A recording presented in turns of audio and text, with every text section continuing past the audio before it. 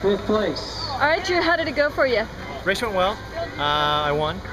It was a little more challenging than I expected. Fourth Actually, we had uh, some. Brad Hood. What's his name? Uh, Dave Second? Brad Hood. Saget. David Saget. He was here and he actually gave me a little run at the beginning. Uh, but I slowly was able Third to pull place, away. Saxon. Had a good race. It felt Hill felt pretty good. Good course, fun course. Uh, my, my Epic worked really well.